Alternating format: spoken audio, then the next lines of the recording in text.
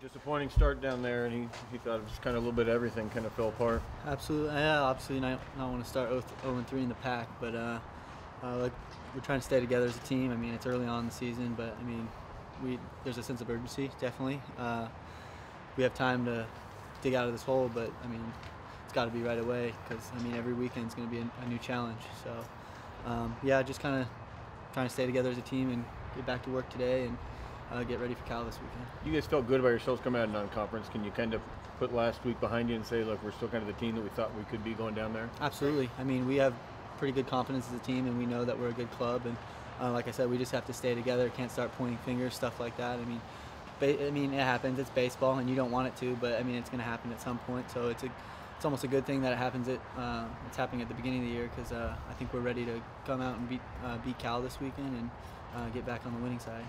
Interested to see what he can do starting the game on Saturday. Oh yeah, I'm excited to see him out there. It's going to be cool. I mean, uh, he's done an awesome job for us out of the pen, and I'm excited to see what he brings to the table, starting games for us and shutting teams down, hopefully.